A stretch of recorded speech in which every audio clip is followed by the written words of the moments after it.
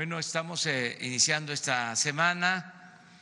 Eh, nos da mucho gusto estar de nuevo con ustedes, eh, el compartir este tiempo para informar a los ciudadanos a través de ustedes. Les agradecemos mucho por eh, asistir a esta conferencia diaria, que es muy importante. Eh, vamos a tratar dos temas. Vamos a dar una buena noticia para los eh, productores del campo, lo que tiene que ver con la fijación de precios de garantía. Este es un programa nuevo,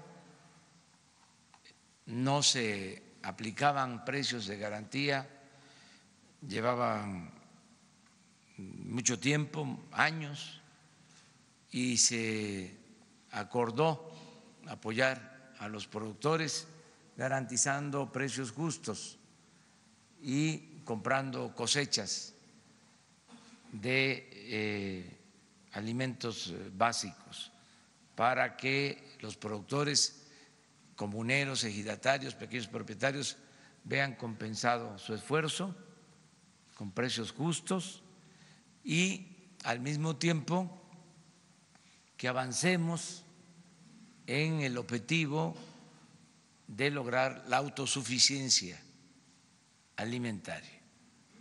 Entonces vamos a informar sobre este programa.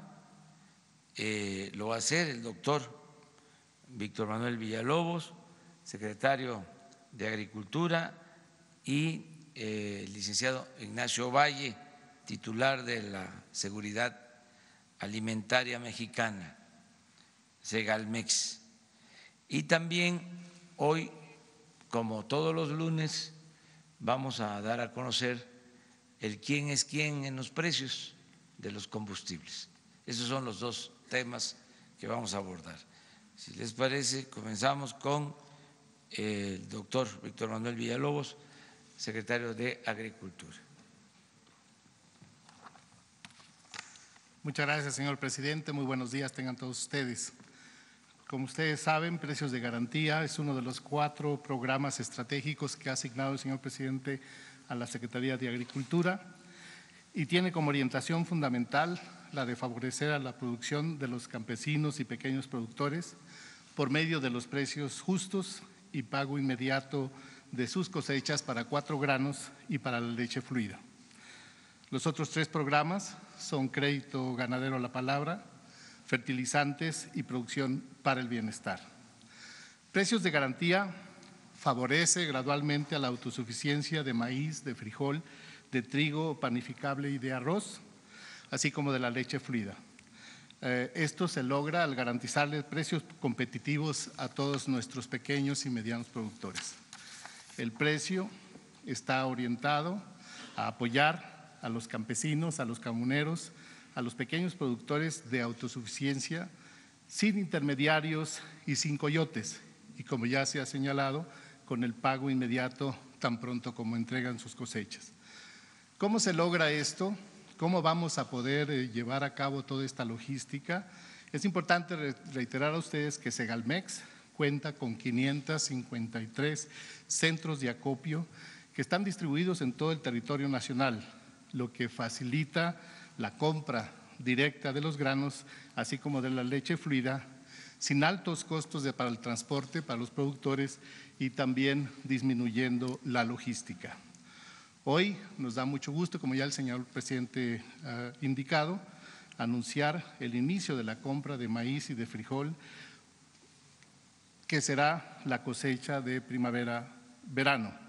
Y para mayor detalle, yo le voy a pedir al licenciado Ignacio Valle que, es el director general de Segalmex, que explique un poco más de cómo vamos a proceder al respecto. Licenciado.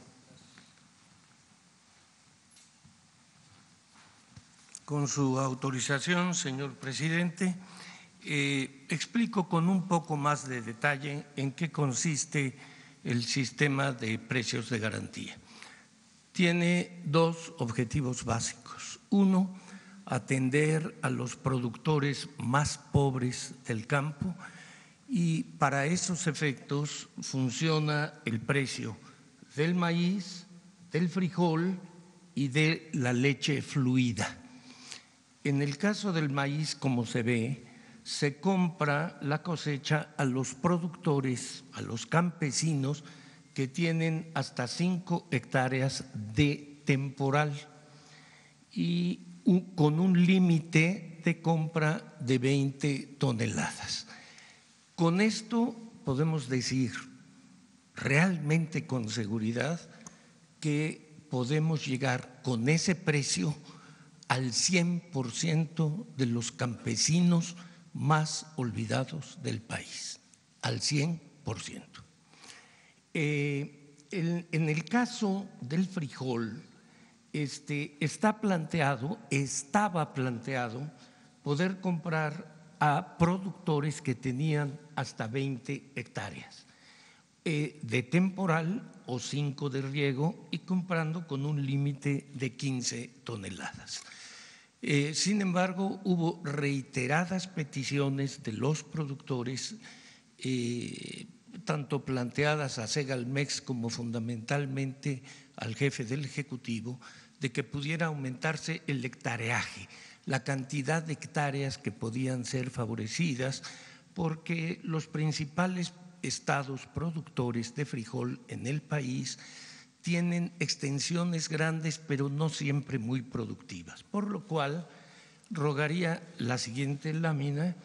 Eh, el señor presidente de la República ha dispuesto que se pase la compra del límite de 20 hectáreas a 30 hectáreas, manteniéndose la de 5 de riego. Otra vez volvemos a la lámina anterior, por favor, para terminar de describir cómo está lo de precios de garantía. En el trigo panificable y en el arroz, el objetivo fundamental es caminar hacia la autosuficiencia alimentaria, es decir, reducir importaciones. Por lo tanto, aquí se está comprando a 5.790 y el arroz a 6.120. La leche fresca se está adquiriendo desde el día primero de enero de este año, ya estaba fijada, porque la leche se eh, colecta diariamente. En cambio, estos cultivos se están anunciando hasta el día de ahora, fundamentalmente el maíz, porque es cuando se van a presentar las cosechas.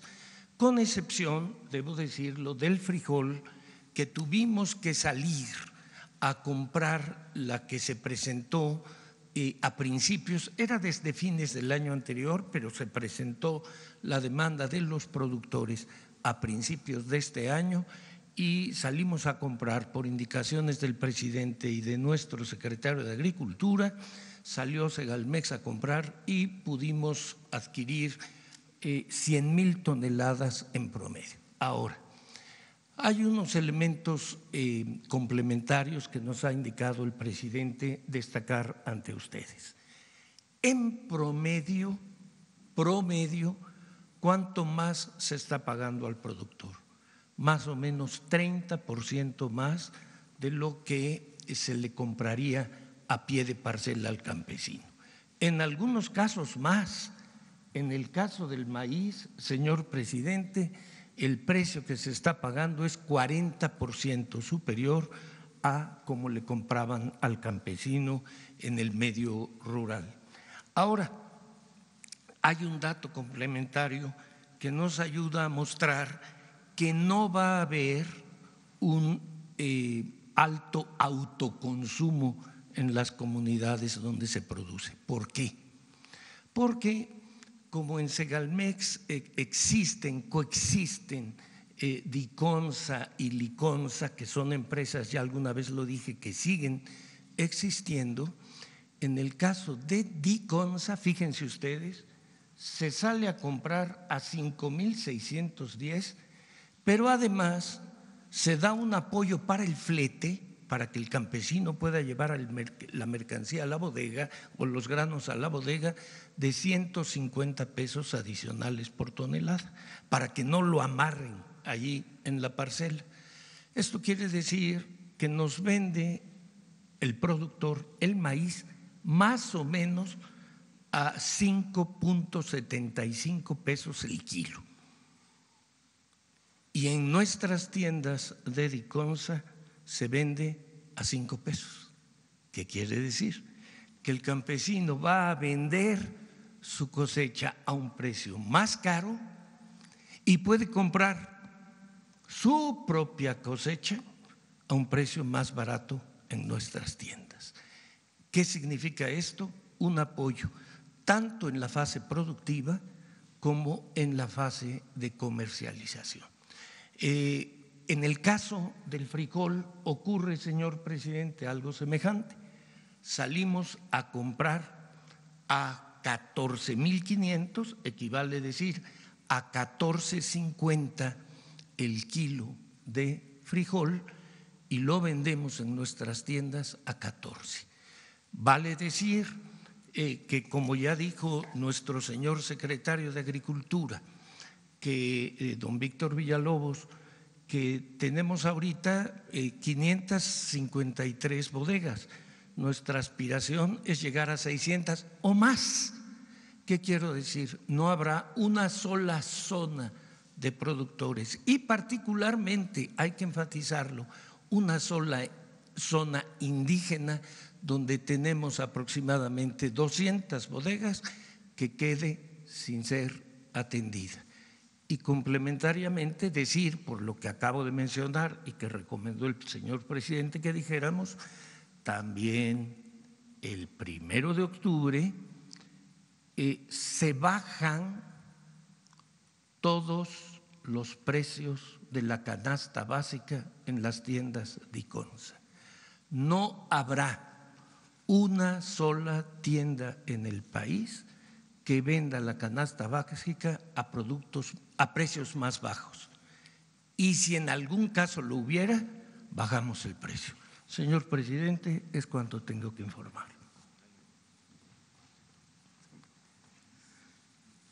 Al concluir, señalamos que la buena noticia que ha indicado el señor presidente es para nuestros productores, porque al aumentar la oferta en la superficie de 20 a 30 hectáreas, estamos incorporando un importante número de productores que también se verán beneficiados con el precio de garantía. Sería la buena noticia. Muchas gracias, presidente.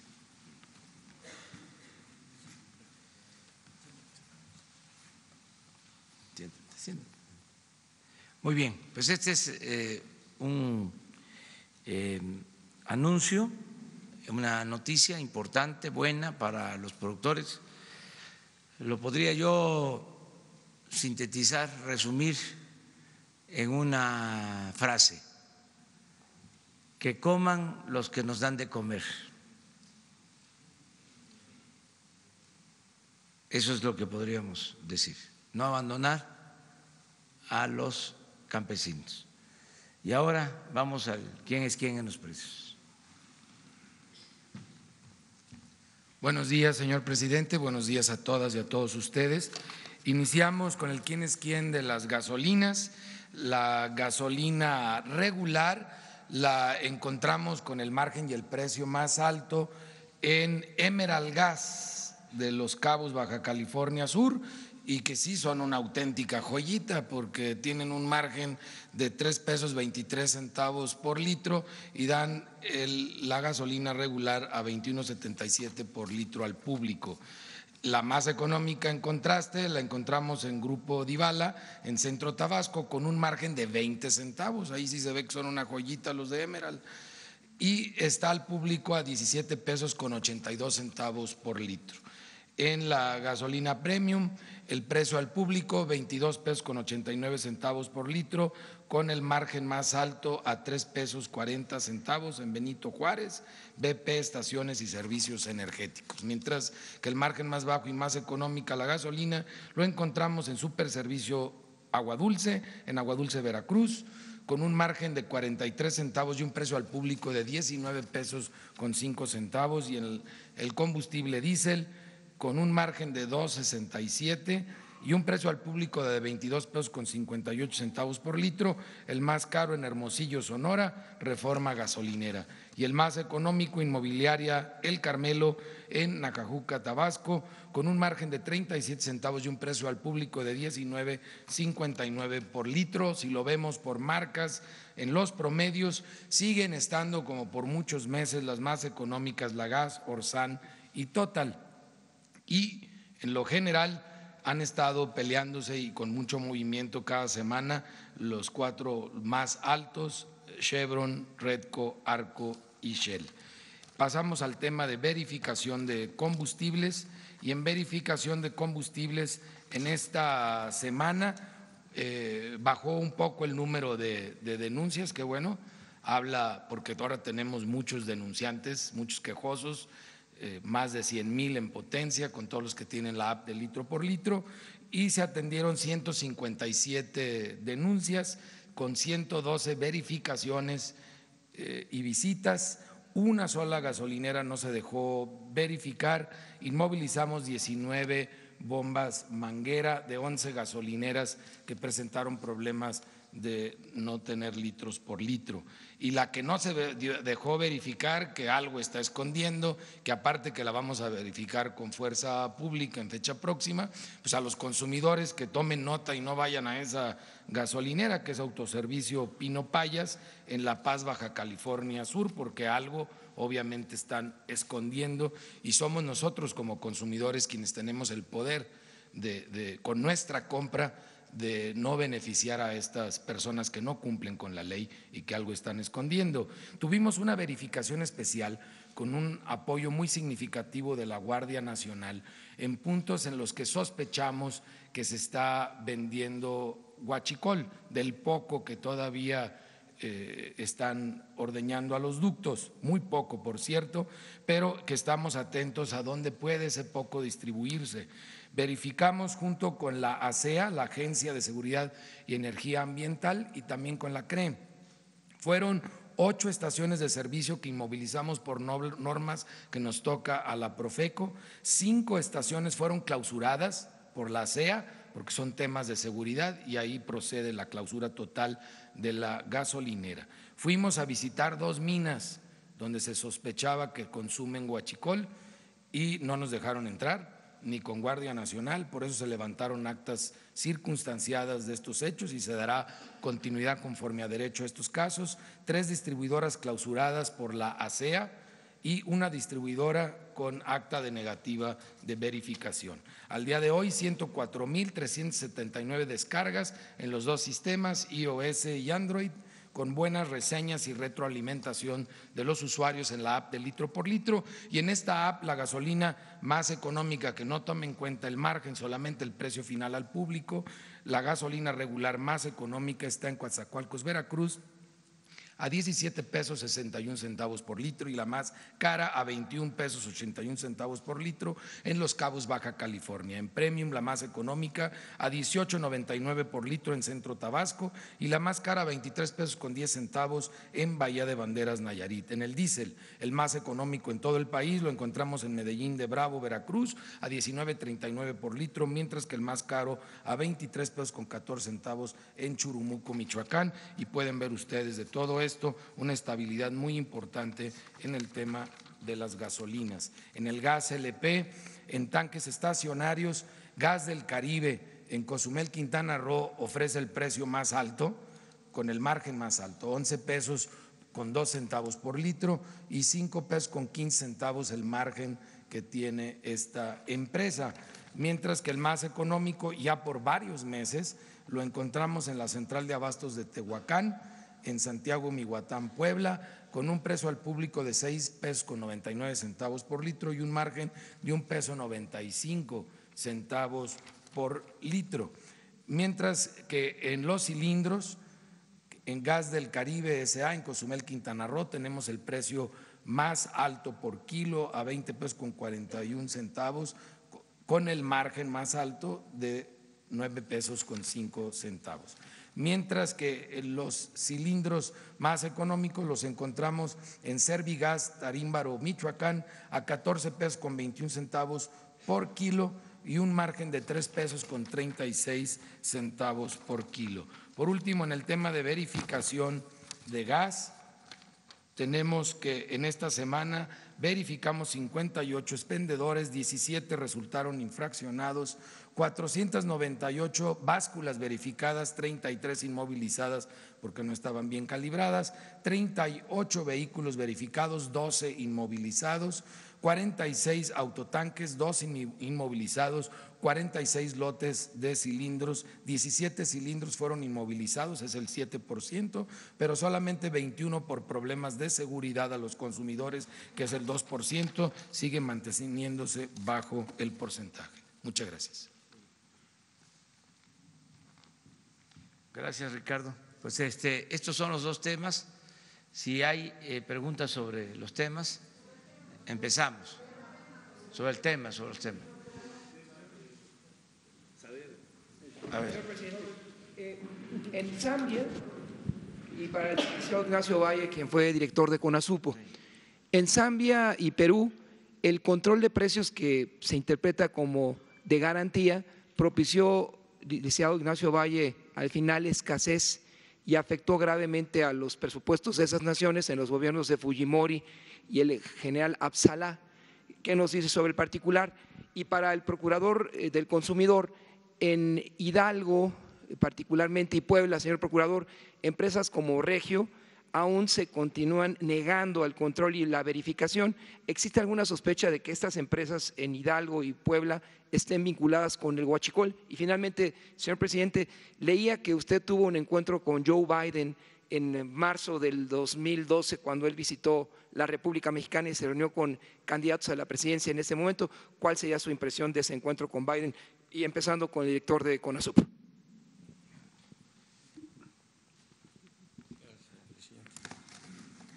Segalmex, no CONASUPO, pero este, recuerdo por lo que menciona cuando dijo que había sido director de CONASUPO, una diferencia fundamental entre lo que fueron precios de garantía de aquella entidad paraestatal y lo que son los precios de garantía actuales y que da un poco explicación sobre esos precios controlados y por qué aquí no tenemos ese riesgo.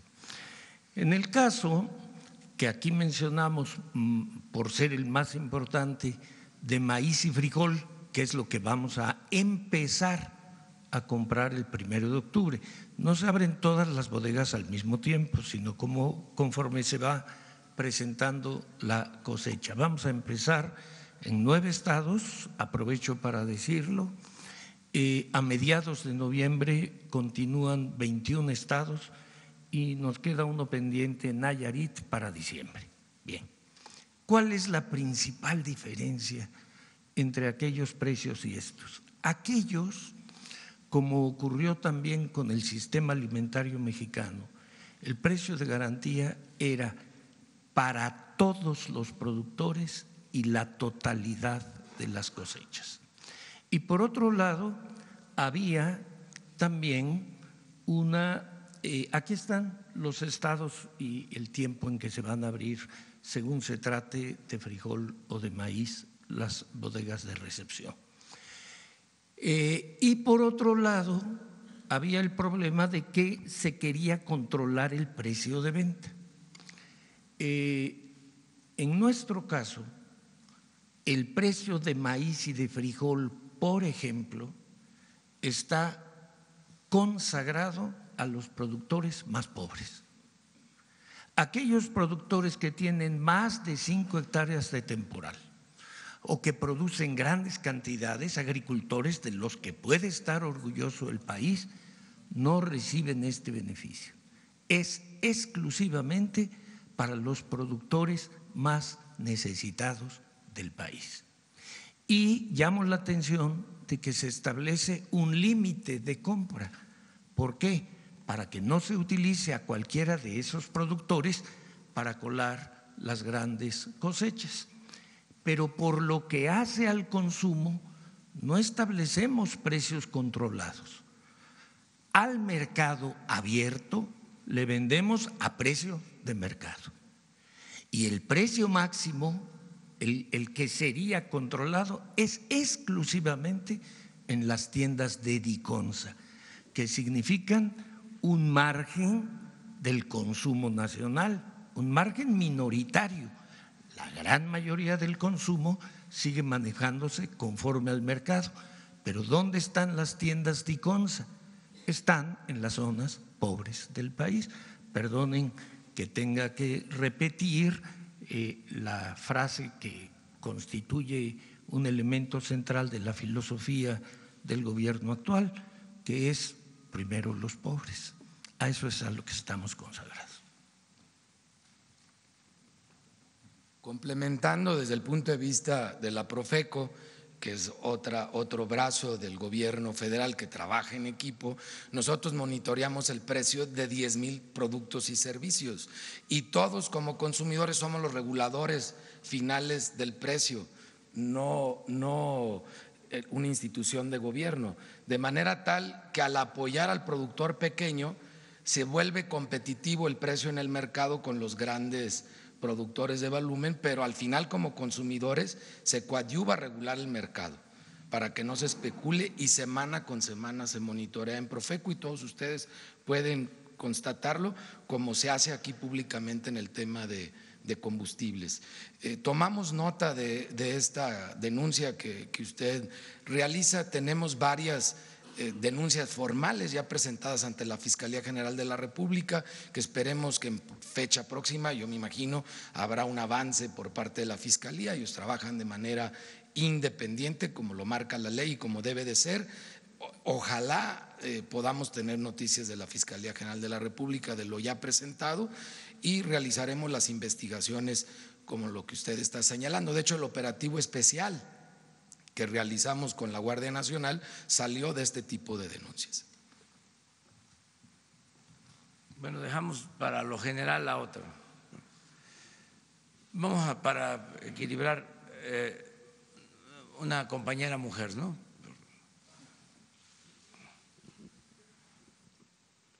Gracias, presidente.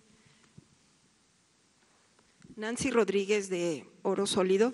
Em, para el secretario, y bueno, en 2007, precisamente ayer que estuvo el presidente en la comunidad de, Tarahumara, eh, en 2007 se les autorizó el llamado eh, pinole nutritivo y supuestamente se les prometió a esta comunidad eh, tarahumara que se les iba a autorizar el distribuirla en las, eh, eh, bueno, en las dependencias como en el IMSS, allá local. Entonces, obviamente ellos estaban muy entusiasmados eh, con este programa, pero hasta la fecha no ha habido nada. ¿Qué posibilidades habría de que se retomara eso? Incluso la Universidad de Chihuahua fue el que les hizo el estudio, que por cierto, este, aquí lo traigo, donde se define eh, específicamente las propiedades nutritivas de proteína, eh, sodio, eh, todo lo, que implica el pinole nutritivo y es precisamente para la comunidad tarahumara. también, presidente, usted que estuvo ayer, no sé si le informaron que yo no sabía, la verdad, que había concesiones mineras para pequeños ejidatarios. Entonces ellos tienen el conflicto de que pues no tienen las herramientas para echar a andar estas minas y les están presionando estas grandes mineras, ¿no? Eh, para que les vendan esas propiedades. Y pues obviamente ellos están en la mejor disposición de eh, precisamente cumplir con el reglamento de pues llevar eh, desarrollo regional y apoyo a los locales. Entonces, ¿qué posibilidades habría de que usted eh, pudiera enviar alguna eh, comisión especial? Porque ellos aseguran, y bueno, yo lo he visto porque estuve hace unos días ahí, hay oro, plata y en algunos casos aseguran que hay hasta uranio. Si usted sabía de esto, Y también, por último, presidente, ayer, no sé si, si le informaron también, que en estas comunidades em, tarahumaras, desgraciadamente, hay esclavitud. Hace unos días eh, se descubrió unas cuevas donde tenían a algunos tarahumaras porque les obligan a trabajar en sembrar droga y caen en manos de grupos criminales. Entonces, eh, no sé si usted está enterado qué medidas se pueden tomar al respecto y también eh, muchas veces los contratan ya cuando bajan a las ciudades y les pagan con una maruchan y una Coca-Cola. Entonces, ¿qué se puede hacer al respecto en relación a esto? Gracias, señor presidente. Bueno, en general eh, visitamos eh, toda la zona tarahumara, bueno, los principales municipios de la sierra de Chihuahua, y eh, se va a reforzar todo el plan de desarrollo integral en beneficio de las comunidades indígenas. En efecto, es fundamental el pinol en la alimentación. El pinol de maíz es el equivalente al pozol de el sur-sureste. Es una bebida eh, fundamental, la principal, que además es eh, pues eh, una buena bebida, es una alimentación sana,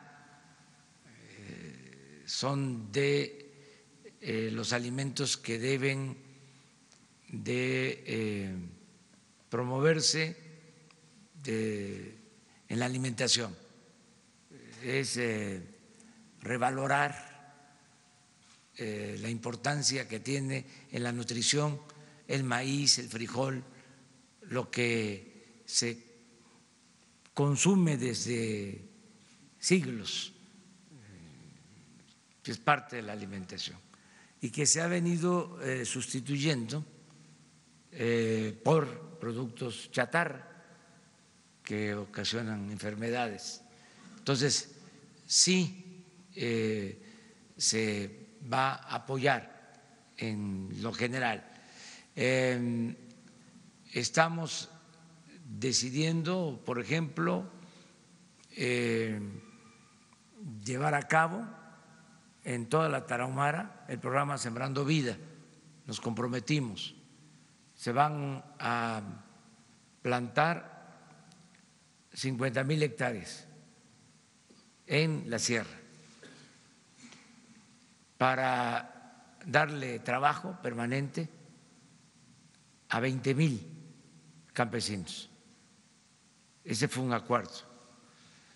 Y desde luego que eh, tenemos que apoyar, porque hay mucha pobreza ayer que estuvimos en un hospital en San Juanito, cerca de Krill, en la sierra,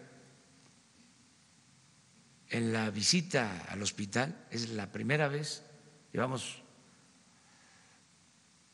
recorridos, visitados 66 hospitales de 80 que están ubicados en las zonas más pobres del país, son hospitales rurales del IMSS Bienestar, que se iniciaron, se eh, construyeron, comenzó ese programa hace 40 años, 1979, eh, y es un muy buen programa. Uno de los creadores de ese programa está aquí, este fue Ignacio Ovalle, que fue director en ese entonces de Coplamar y comenzó el programa como IMSS Coplamar, porque hasta entonces el IMSS no atendía a población abierta, solo atendía a los derechohabientes, a los asegurados, y se tomó la decisión muy buena en 1979 de crear unidades médicas rurales en las zonas más pobres del país y hospitales de segundo nivel. Entonces estamos recorriendo este, estos hospitales y ayer eh, el director del Hospital de San Juanito, cuando le pregunté, y hasta lo subí a mi face, si tenían problemas de diabetes, porque las nuevas enfermedades que tienen que ver con la mala alimentación, que tienen que ver con malos hábitos alimenticios, con falta de educación para la salud, con campañas de prevención, con falta de ejercicios, de deporte, este, pues son diabetes, hipertensión. Eh, yo les comentaba a ustedes que solo en hemodiálisis el seguro y el ISTE tienen que eh, invertir, porque eso no es un gasto, es una inversión que se justifica plenamente, pero son 16 mil millones de pesos al año. Entonces le preguntaba yo al director que si tenían casos de diabetes, a pesar de eh, la falta de alimentación, porque es una zona muy pobre. Este, me decían, no, porque caminan mucho los indígenas, no tienen diabetes. Lo que tienen es tuberculosis. Lo que padecen es tuberculosis producida por hambre. Y en el hospital de San Juanito, pues había pacientes que estaban siendo atendidos por tuberculosis. Entonces, eso este, pega fuerte, eh, no podemos sentirnos satisfechos cuando hay tuberculosis producida por hambre en nuestro país. De ahí que eh, se haya tomado el acuerdo de eh, reforzar, porque ya estamos trabajando, pero vamos a aplicarnos más en programas de apoyo a las comunidades indígenas de toda la Tarahumara y hice el compromiso incluso de regresar para este, mejorar las condiciones de vida y de trabajo. Eso te lo explico así en general. Caso de la minería, estamos también este, atendiéndolo. Eh, buscando eh, apoyar a pequeños mineros eh, y cuidando el medio ambiente. Quiero decirles que hasta ahora no se han entregado concesiones nuevas, porque fue excesivo lo que se entregó para la explotación minera hasta 90 millones de hectáreas en el periodo neoliberal. El 40% del territorio nacional, algo nunca visto, ni en el porfiriato se enajenó tanto suelo patrio. Entonces, ¿para qué tantas concesiones? 90 millones de hectáreas pues eh, no se las sacaban ni en un millón de años.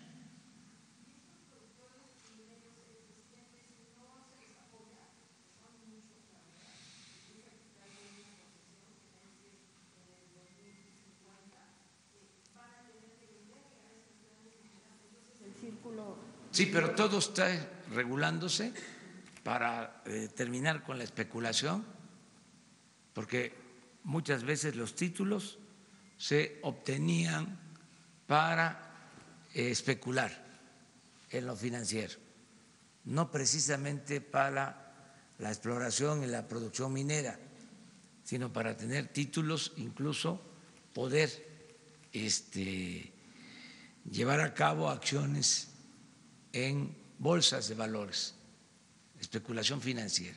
Entonces, todo eso se está reglamentando.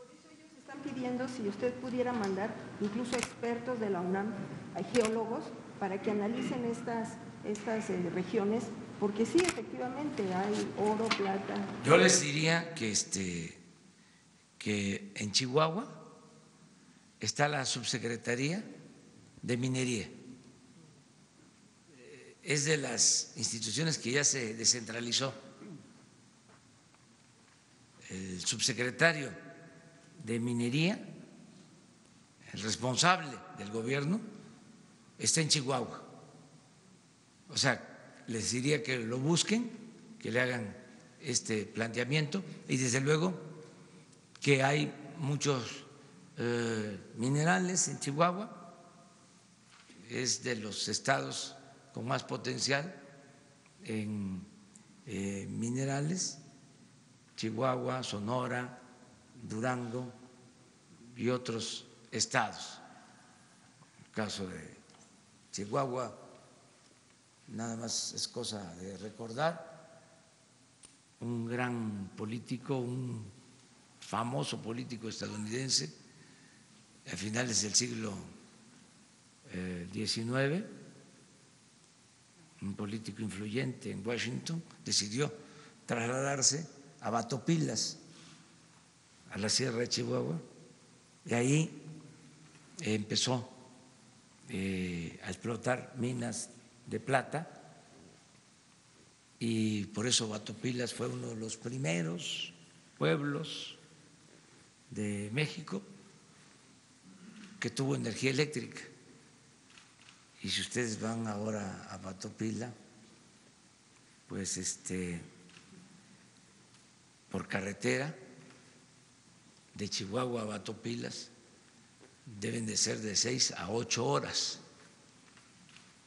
En aquel entonces, allá en la sierra, se creó este emporio minero y lo que sacaban era plata, desde luego en mulas, eh, durante el porfiriato. Entonces sí hay mucho potencial minero en Chihuahua y en todo el norte del país y mucha tradición.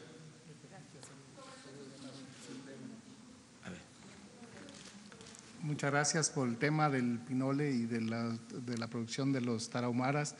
Quiero nada más señalar que coincidentemente el día de ayer que se celebró por vez primera el Día Nacional de los Maíces Nativos, eh, los, eh, los tarahumaras, al igual que muchas otras eh, comunidades indígenas, eh, son los custodios de toda la diversidad genética de nuestro maíz particularmente este maíz de los tarahumaras, que es muy importante. Eh, nosotros nos interesa mucho el proyecto que usted trae, pero también indicar a ustedes que eh, solamente a través de un reconocimiento de, esta, de esta protección de nuestros maíces nativos va a permitir este, la perpetuación de esta especie, por un lado, pero por otro, una forma muy importante es a través del precio y sobre todo agregarle valor a esos productos como los vamos a promover y sobre todo a conservar mejor. De modo que este, por instrucción del señor presidente y a partir del día de ayer, eh, celebrando el Día Nacional de los Maíces Nativos, haremos un programa especial para la custodia y la conservación y sobre todo el precio adecuado a los maíces nativos, donde los tarahumaras son particularmente custodios de esas especies. Muchas gracias. Sobre el tema, ahora va este, un compañero, un compañero. Y de atrás, a ver tú.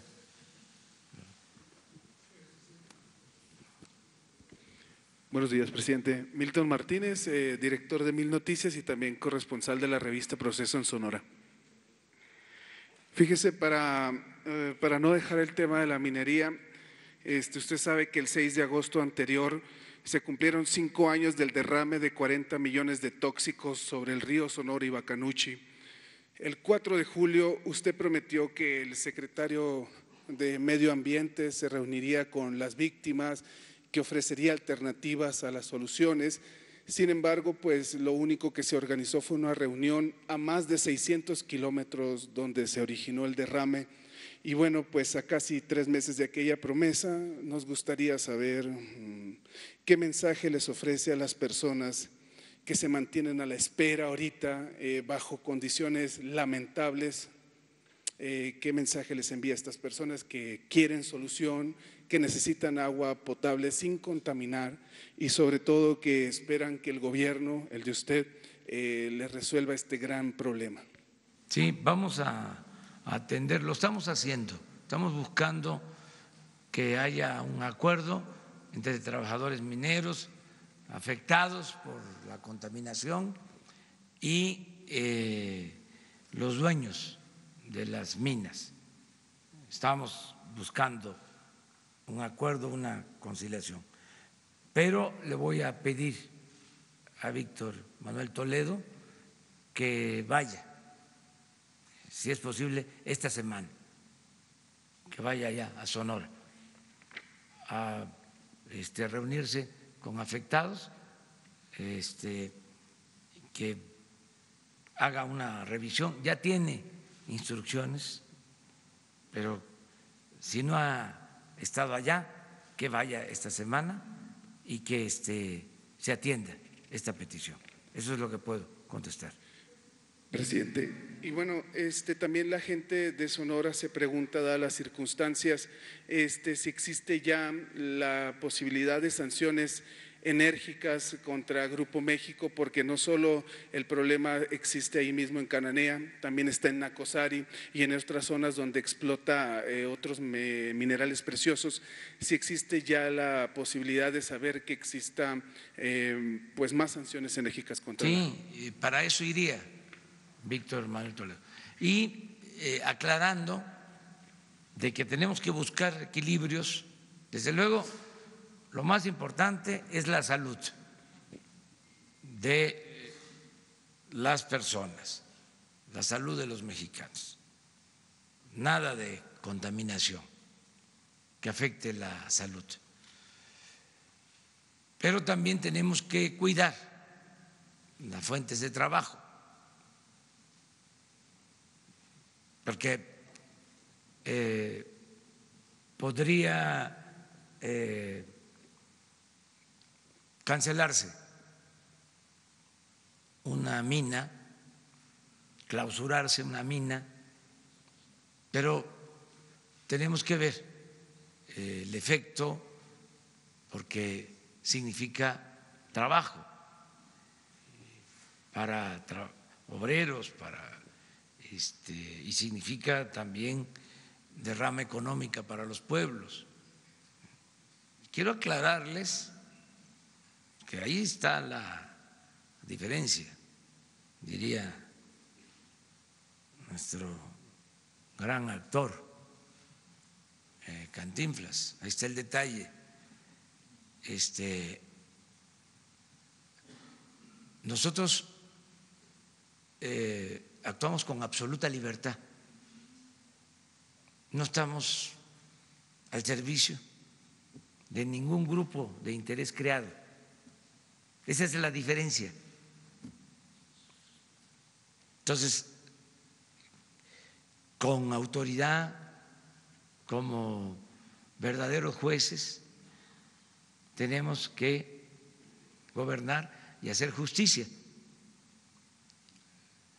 Pero esta libertad debe de tomar en cuenta a todos la independencia que tenemos, la autoridad que ejercemos, tiene que eh, tomar en cuenta a todos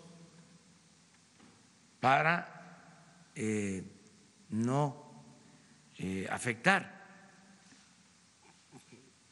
Por eso la mejor vía es el diálogo y el acuerdo. Ya cuando se agota el diálogo y el acuerdo, bueno, pues entonces vamos este, a ejercer la autoridad. Pero eso es lo que estamos procurando, porque encontramos conflictos en donde hay mucho encono, en el caso de la minería, se eh, cargó mucho el gobierno anteriormente o los gobiernos a favor de una de las partes. Y ahora lo que queremos es gobernar para todos, atender a todos, escuchar a todos, respetar a todos y que haya justicia. Entonces, todo esto es lo que estamos logrando. Lleva tiempo, pero en este caso en particular, este, vamos a, actuar. ¿eh? A veces también digo que la justicia tarda, pero llega. Acuérdense que tenemos que eh, levantar al elefante echado y que camine, este, pararlo y que camine. El elefante que nos dejaron echado, reumático y mañoso. Entonces lleva su tiempo y me están ayudando todos a parar al elefante y luego empujarlo. Y es un cuerpo de avance lento porque este es muy mañoso. Porfirio Díaz decía que la política era este tan difícil, tan difícil como eh, arrear eh, pavos con una vara para meterlos a un corral. El que sabe del campo entiende, porque cuando uno va arreando este, los pavos se regresan. Es difícil, o sea, no es fácil, pero aquí no son los pavos, aquí es un elefante este, grande, grande, grande. Pero ¿qué creen? Va a caminar, tiene que caminar. Ya eh, lo levantamos y lo estamos empujando entre todos. Entonces, lleva tiempo, pero vamos hacia allá. Eh, presidente, y fíjese que en este tiempo en el que hemos intentado eh, platicar y denunciar estos casos, también nos llega la denuncia de un grupo de ejidatarios y transportistas en el ejido Cedros de Zacatecas eh, que mantiene bloqueados los accesos a la mina Peñasquito, que es propiedad de Newmont Gold Corp. Los ejidatarios y transportistas solicitan, exigen una indemnización de 450 millones de dólares para levantar el bloqueo y la empresa, este, porque dicen ellos que se les han secado los principales accesos a agua en la, en la región. La empresa amaga con cerrar la mina y la pregunta es que se hacen los trabajadores, más de 20 mil empleos entre directos e indirectos. ¿En qué trabaja la, el gobierno federal para resolver este conflicto? Ese es otro tema, lo de Peñasquito, este, en Zacatecas. Es una diferencia que hay eh, con ejidatarios, eh, los dueños de la mina, que son canadienses, y transportistas. Y también este, se meten eh, organizaciones, tanto sindicales como sociales, a este, asesorar. A todos les estamos pidiendo que ayuden, que se llegue a un acuerdo, lo estamos atendiendo eh, este asunto, se mantuvo un paro, se abrió, se llegó a un acuerdo, se volvió a cerrar y en eso estamos, porque sí es una inversión importante, son trabajadores, no nos conviene que se cierre esa eh, mina. Eh, sin embargo, eh, se tienen que eh, atender las demandas justas y cuidar que no haya corrupción también, porque hay este, a veces dirigentes que quieren sacar raja de estos conflictos. Para decirlo con claridad, quieren sacar dinero.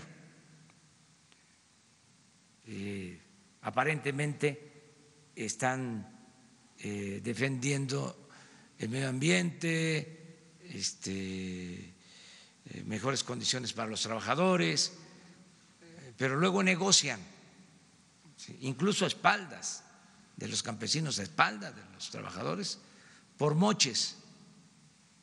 Esa era la costumbre. Este, eso no debe de permitirse. Nada de corrupción, cero corrupción. Y que eh, se dialogue y se le dé la razón al que eh, la tiene. Entonces, en eso también estamos trabajando, este, buscando conciliar para que haya justicia y que se mantengan abiertas las fuentes de trabajo, porque sí importa. Más, eh, nosotros ya no estamos dando concesiones, pero si encontramos ya una concesión otorgada legalmente, pues ¿cómo la vamos a cancelar? Y si además eh, se trata de una mina está dando trabajo, y quiero este, puntualizar más, esa es de las minas en donde mejor se le paga al trabajador minero, esa mina en particular en Zacatecas. Eh, acabo de estar por allá y tengo el informe. Eh, es donde eh, se les paga más al trabajador minero. Eso no sucede en otras minas del, país. de modo que vamos a seguir insistiendo en que haya la negociación. Muy bien. Compañera. Vamos al tema, ¿eh? Todavía no entramos a lo general. Bueno, eh, voy a entrar al tema, pero hablo de pues ya se va a acabar el año 2019, presidente, y aún los titulares de las secretarías eh, siguen despachando desde la Ciudad de México. Esta pregunta es para usted, ¿cómo va su plan de llevar las secretarías y otras dependencias a diversas ciudades del país? Cuándo se dará la descentralización y cuáles han sido los obstáculos a los que se ha enfrentado para materializar la descentralización. Y pues aprovechando que está aquí el, secretario Villalobos, eh, pues cuándo empieza a operar la SADER en Ciudad Obregón. Eh, se había dicho que ahora en septiembre, ¿cómo va este proceso? ¿Cuáles han sido los principales problemas, obstáculos que han retrasado la operación? Porque se había dicho que desde marzo. ¿Cuántos funcionarios federales estarían mudando a Oregón y qué porcentaje representan del total? ¿Qué se les está ofreciendo los empleados para que decidan irse a vivir a Ciudad Obregón? Gracias. Antes de contestarte, me quedé con este, pensando eh, sobre lo de Zacatecas y es Mazapil, el municipio. Eh, ¿Cómo no me voy a acordar? Ya. Este, bueno, eh, lo de la descentralización va avanzando, no como quisiéramos, porque como estamos eh, sentando las bases para la transformación, levantando al elefante, definiendo las nuevas directrices, no corrupción, austeridad,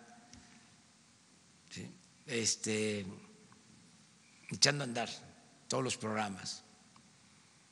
Pues eso nos ha detenido en el propósito de llevar a cabo la descentralización del gobierno, pero lo vamos a hacer.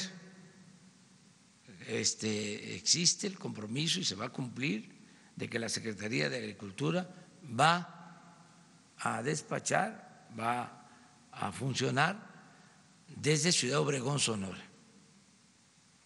En el caso de Segalmex, que está aquí, ya se está eh, trabajando en Zacatecas. El 14 nos trasladamos en definitivo. El 14 de octubre se traslada Segalmex en definitiva a Zacatecas. O sea, y vamos avanzando. Estuve, les decía yo lo de Chihuahua, eh, eh, la Secretaría de Economía tiene una subsecretaría de Minas. Esa subsecretaría de Minas ya está en Chihuahua. Allá este, actúa el subsecretario. Antier, eh, el viernes, estuvimos en la laguna y ya eh, tiene oficinas, está en proceso de cambiarse, eh, Nacional Financiera, a Torreón. Entonces, sí estamos avanzando, no como quisiéramos, pero se va a cumplir con el compromiso de descentralizar todo el gobierno. Ya este, pensamos. Eh, la Secretaría de Energía está en Villahermosa, allá está permanentemente la secretaria Rocío Nale, incluso no en Villahermosa, tiene un campamento en Dos Bocas, Paraíso, Tabasco, donde se está construyendo la nueva refinería. Y eh, la indicación, la instrucción es que eh, no estemos tanto tiempo en las oficinas en la Ciudad de México, que estemos en todas las regiones de México.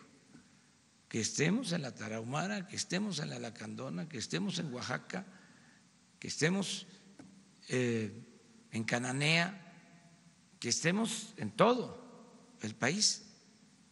Gobernar desde abajo y con la gente.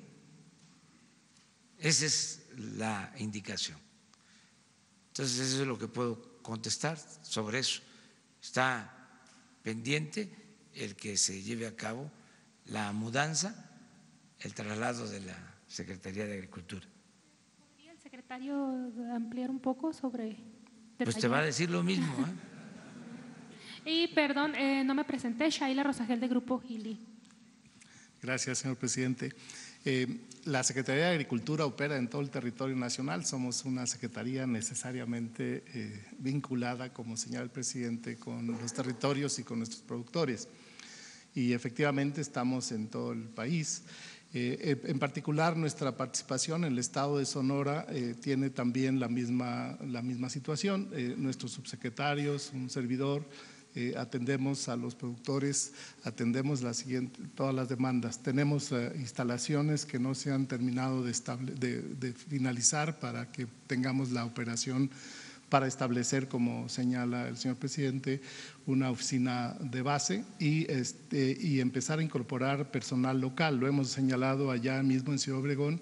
No se trata de trasladar por lo pronto gente de las oficinas centrales, sino este, ir comentando y sobre todo eh, contratando personal local para las necesidades eh, de la operación de la oficina. La gobernadora de Sonora ha dispuesto un espacio, tenemos, eh, insisto, en, preparación las instalaciones en forma adecuada y este, estaremos gradualmente eh, atendiendo desde Ciudad Obregón todo lo que tiene que ver con el, accionar perdón, de la Secretaría, ah, como lo ha indicado el señor presidente. compañero, compañero, acá.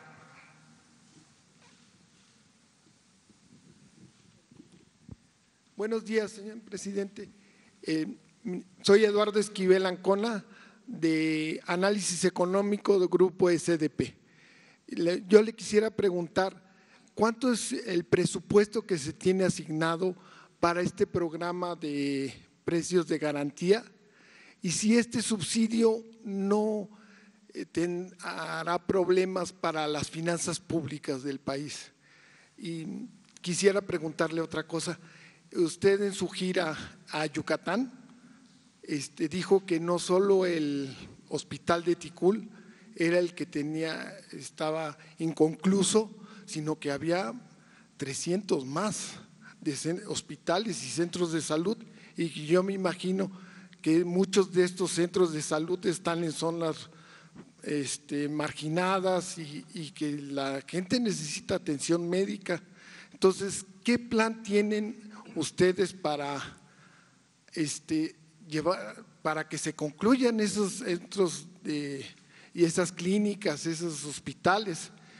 Y la tercera es este, sobre el, este, qué planes tienen, porque vemos que el IEPS a los refrescos y todo esto, sí es bueno, sí eh, da, da recursos, ¿no?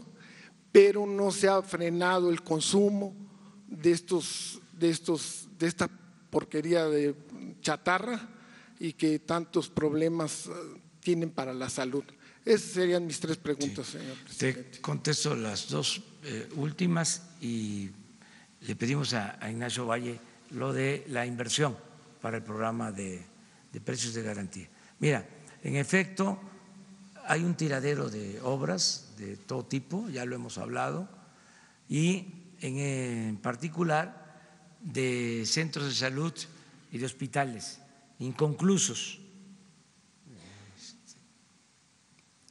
Estuve en Chihuahua y allá este, hicimos el compromiso o reafirmamos el compromiso de terminar un hospital que dejaron eh, sin concluir en Ciudad Juárez, que fue toda una farsa, porque lo inauguraron, hicieron la fachada como algo para cine,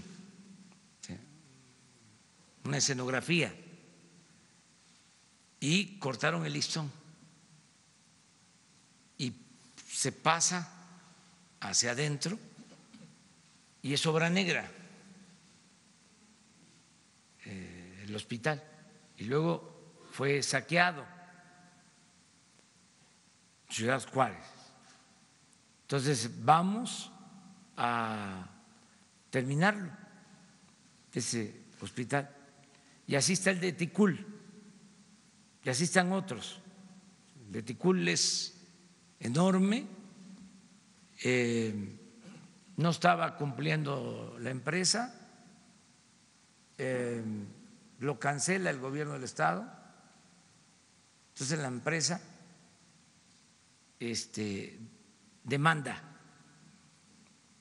al gobierno del Estado y están queriendo cobrar solo por supuestos daños a la empresa, por una indemnización, 150 millones de pesos.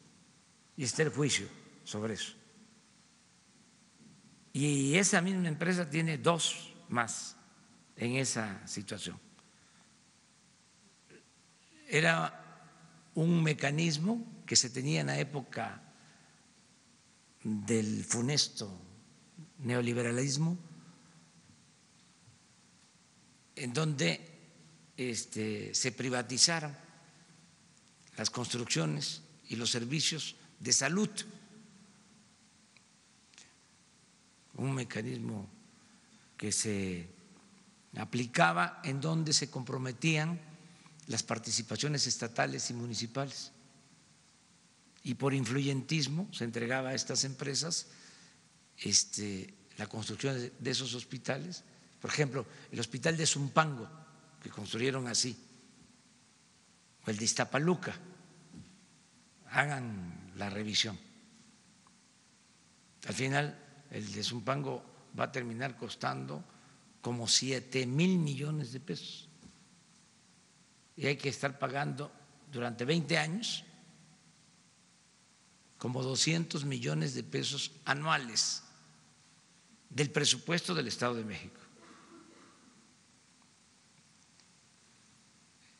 Cuando un hospital de ese tipo, cuando mucho, se puede hacer en 400, 500 millones de pesos y se terminan pagando siete mil 10, 15, hasta 20 veces más. O sea, fue muy responsable todo lo que hicieron. Entonces tenemos ahora que decidir eh, cuáles iniciamos para terminarlos. Es muy difícil estar pensando en nuevos hospitales. Tenemos que terminar los inconclusos. Esa es nuestra tarea.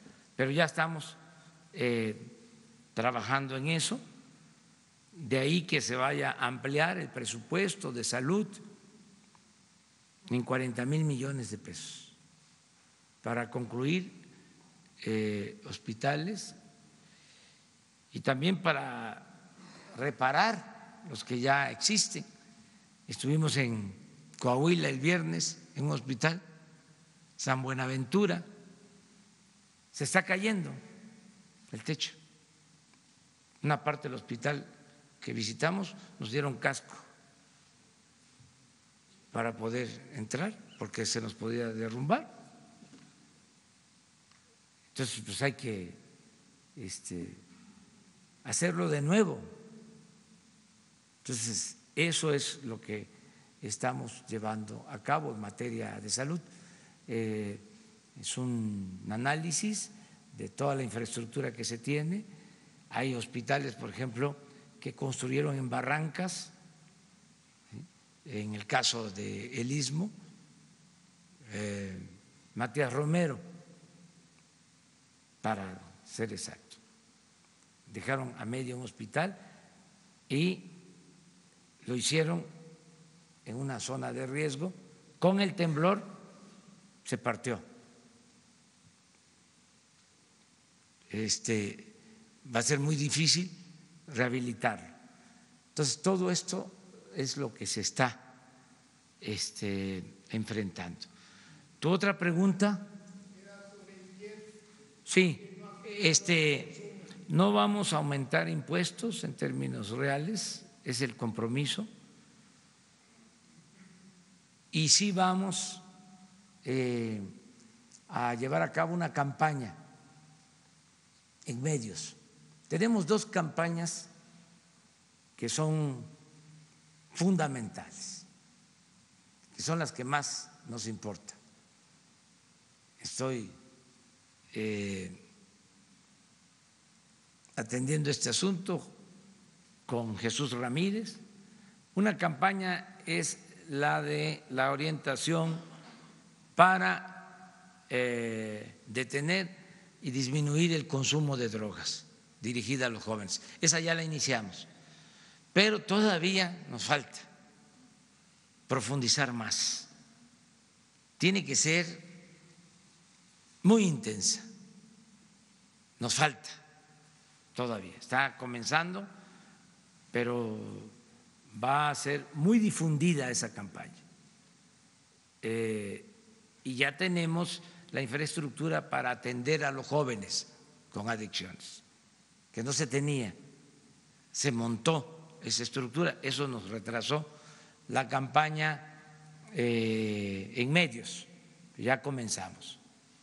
Y va a intensificarse con tiempos oficiales y con tiempos eh, contratados y espacios contratados en medios. Ese es eh, un objetivo principal. Y la otra campaña es la de la alimentación sana. Este, esa se está preparando, de eh, cómo eh, comer bien, de manera sana, y no dejarse llevar por la publicidad y consumir productos chatarras que afectan la salud. Y no solo la salud, afectan el bolsillo, porque cuesta mucho este, consumir esos productos. Además de que son dañinos o pueden ser dañinos para no ser tan este, radicales, sin duda son muy caros. el pinole de los tarahumara o el pozol que toman los choles o los chontales o el chilate que se toma en la costa chica de Guerrero y así. Este todas las bebidas mucho más baratas. México es de los países, además, con la mayor variedad de frutas, sin duda frutas tropicales, de temporada, una jarra de piña, miel, imagínense, ¿qué tiene que ver con otra jarra de sustancia que no sabemos qué tiene, una jarra de Jamaica, una jarra de tepache, ¿sí? este, agua de melón para ayudar también a los productores que siembran melón en la laguna, en fin, esa va a ser una campaña. Las papas, todo respeto, ¿Por qué tan caras? Las industrializadas. Cada vez las inflan más. Este, ¿Por qué no la papa? Está sembrando mucha papa en Sinaloa, en Chihuahua. Este, con poco aceite también pero sale más barata. En fin, vamos a hablar aquí también sobre esos temas. Vamos a estar hablando de la comida regional, de los productos regionales, de lo nutritivo que son, la mala fama que le fueron creando a ciertos alimentos. Imagínense la mala fama al frijol que es un alimento fundamental, pura proteína. El maíz con las variedades eh, nativas, maíz azul, allá en la Tarahumara, el amaranto, entonces, vamos a hablar de eso. Entonces, un poco por lo que tú mencionas, pues, porque no es nada más este el que paguen más impuestos, sino que haya información a la gente. Eso es lo que puede este, ayudarnos más. Eh, yo les comentaba de que por eh, una malentendida eh,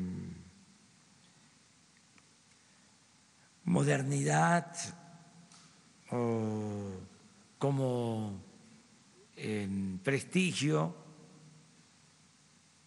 se consume en zonas indígenas eh, mucho refresco embotellado, porque da cierto prestigio tomarse un refresco. Entonces, hay que informar de que este no tiene que ser así necesariamente, ¿no? Pero se requiere de estas campañas que se van a llevar a cabo. Acerca de cuánto nos eh, cuesta o cuánto se va a invertir en el programa de eh, precios de garantía. Aquí lo informa Nacho. ¿Cómo no? Para el año 2019 eh, se tiene estimado un gasto aproximado de 15.200 millones de pesos, de los cuales ya hemos eh, gastado tanto en compras como en lo que es la preparación, es decir, el gasto de operación, 6 mil millones.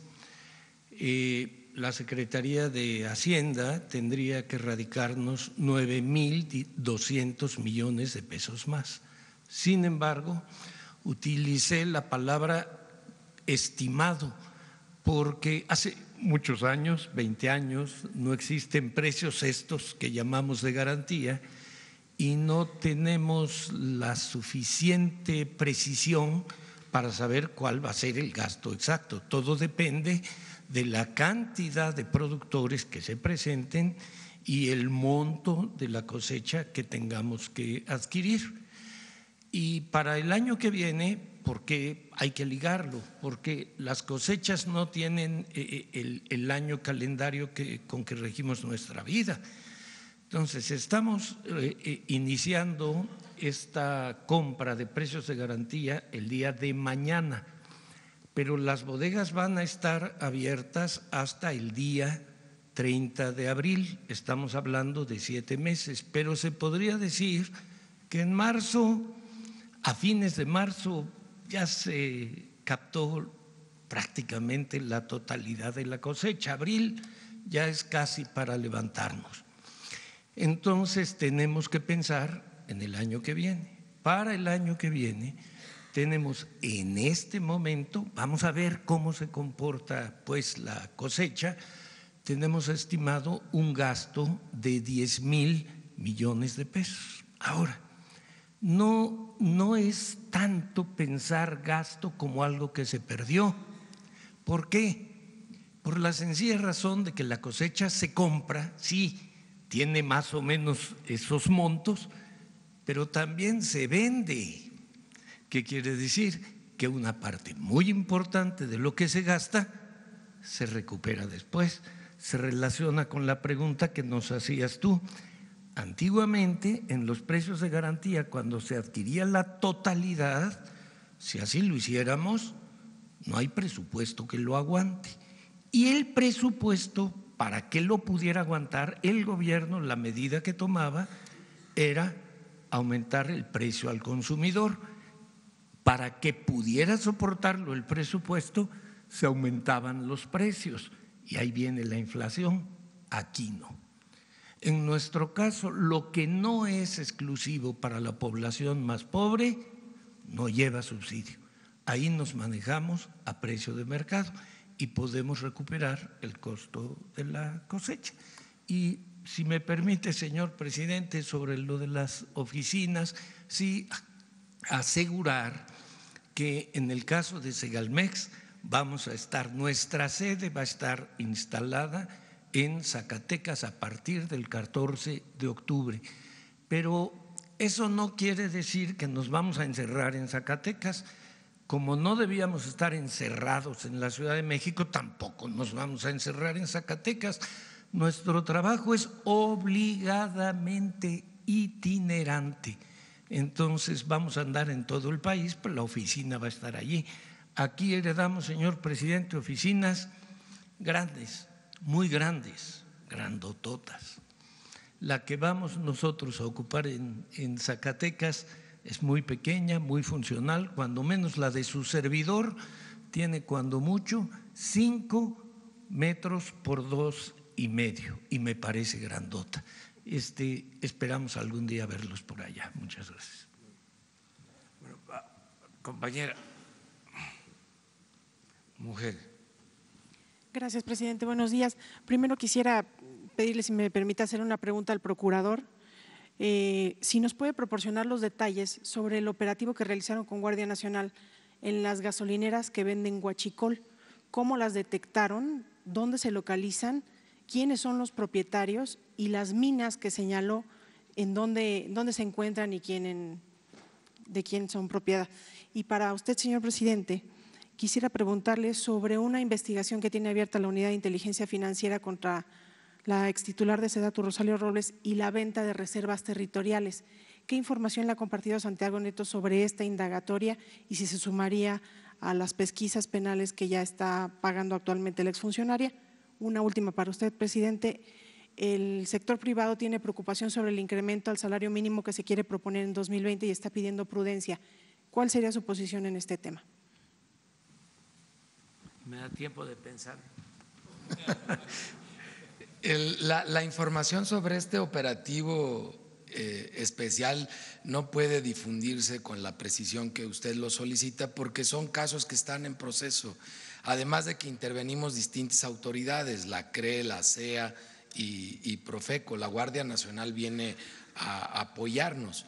Cuando nosotros tenemos información eh, que se sospecha que se está vendiendo guachicol o guachigás, nosotros armamos estos operativos, en algunas ocasiones los podemos concluir, en otras levantamos las actas, como mencioné, dos minas no nos dejaron entrar y eh, en una de estas distribuidoras tampoco nos dejaron entrar. Volvemos a repetir los operativos, muy probablemente resarzan o compongan lo que no querían que viéramos. sin embargo, el acta coadyuva en el tema penal. Esto no se queda solo en lo administrativo. Por eso muchos terminan en denuncias ante la Fiscalía General de la República y ahí estamos atentos a que se continúe la investigación. Pero mayores detalles eh, sería en contra de los procesos que estamos llevando y en beneficio precisamente de, de estas personas si están efectivamente, como sospechamos, cometiendo fechorías. geográficamente? Eh, fueron en el norte del país, en Sinaloa, Sonora, eh, Chihuahua, eh, Tamaulipas y tuvimos una en Tabasco, pero principalmente fueron en el norte del país. Fueron varias brigadas que operaron simultáneamente. ¿Cuántos elementos de la Guardia Nacional en promedio participaron?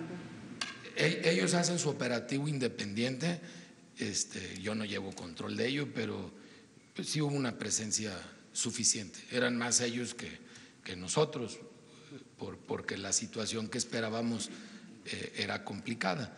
No se hace uso de la fuerza pública como lo ha instruido el señor presidente. Eh, vamos de forma pacífica y con apego a la ley. Por eso, donde de plano no nos dejan entrar, ni viendo todo ese operativo, pues levantamos las actas circunstanciadas y más bien nos confirma que, que allá hay gato encerrado o tigre. Entonces, a ver, lo de la investigación eh, que se está haciendo, el proceso este judicial, lo tiene pues la fiscalía y eh, la instrucción que tiene Santiago Nieto en este caso y en todos es que se presenten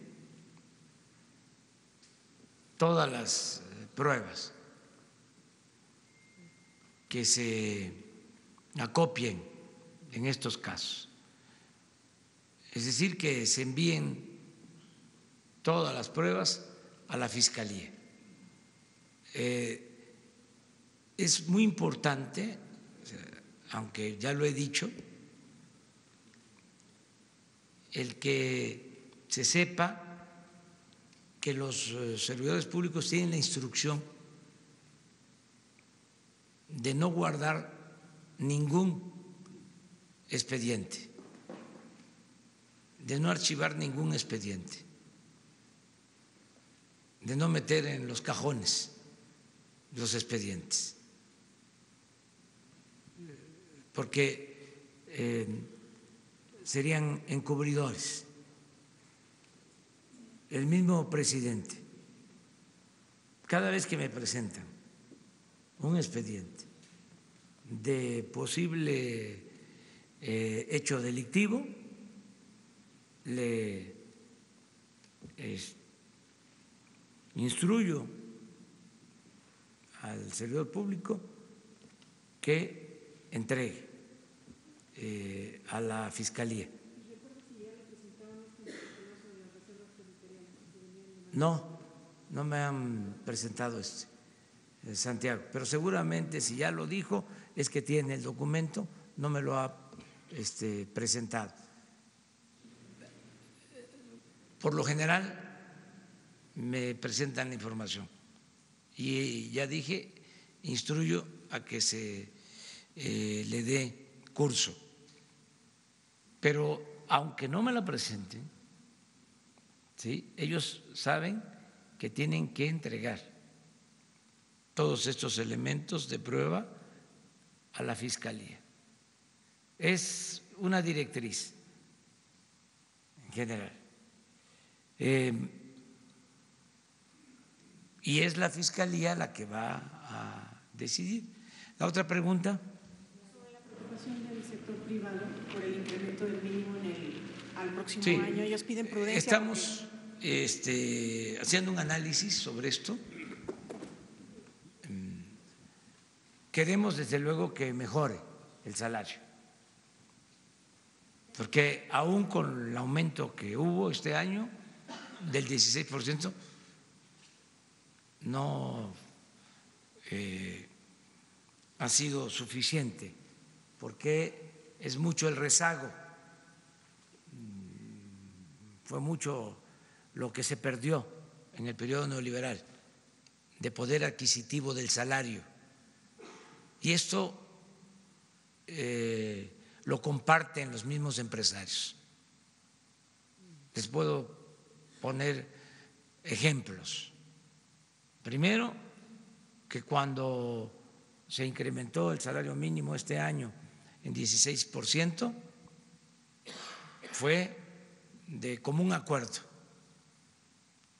con el sector obrero y con el sector empresarial. Pero es importante que el sector empresarial haya eh, apoyado el aumento en el salario sector obrero, ese eh, es su trabajo, es su función. Los dirigentes deberían de estar este, pidiendo más aumento, pero como que se durmieron durante mucho tiempo, ya están despertando. Este, porque ese es su papel. Entonces, de modo que este, acepte el sector empresarial un aumento del salario y no acepten o no lo promuevan el aumento los dirigentes de los trabajadores. Pero se había llegado a extremos donde con la mentira de que el aumento del salario era inflacionario, habían empresas que querían aumentar los sueldos y no se los permitían. A ese grado se había llegado. Entonces, ahora es una política laboral distinta. De todas maneras, eh, tenemos que eh, llegar a un acuerdo. Em, el otro caso que quiero decirles es que se acaba de hacer un estudio del em, Consejo Coordinador Empresarial, en donde se reconoce de que los salarios en México están por abajo de los salarios en China. O sea, las mismas empresas Ayer que venía de regreso de Chihuahua, en la noche, un empresario que no se me puede olvidar su apellido, eh, Terrazas, de la construcción, se paró y fue donde estaba sentado el avión a decirme que ellos como empresa han tomado la decisión de aumentar el salario de los trabajadores ellos y que están dispuestos a hacerlo. ¿Se acuerdan que yo les comentaba que ya hay un nuevo paradigma en corporaciones de Estados Unidos en donde no solo se busca la utilidad, sino mejorar los salarios de sus trabajadores y cuidar el medio ambiente, algo que es muy importante. Entonces, eh, le agradecí, le dije que eso es lo que se necesita, porque eso, a diferencia de lo que pensaban los tecnócratas, ayuda a fortalecer el mercado interno. No hay ingresos, si los salarios no alcanzan, la gente compra apenas lo indispensable. No se benefician las empresas, no se beneficia el comercio. Si se mejora el salario, pues eh, hay eh, más ventas, más consumo, hay eh, más crecimiento económico. Claro, todo esto tiene que eh, resolverse con responsabilidad, porque no se puede recuperar todo lo que se perdió durante el periodo neoliberal de un año para otro. Se calcula que en 36 años el salario mínimo perdió 75% de su poder adquisitivo. Entonces no se podría así, en un solo año, pero sí llegar al acuerdo de que aumente el salario en términos reales y que nunca jamás vuelva a suceder lo que hicieron en el periodo neoliberal, que en algunos años el aumento al salario se fijó por abajo de la inflación. Eso no. Es así, este, base. ¿Cuánto va a aumentar el salario? Eh, siempre arriba de la inflación. En eso estamos. Estamos haciendo la revisión y tenemos que llegar al acuerdo.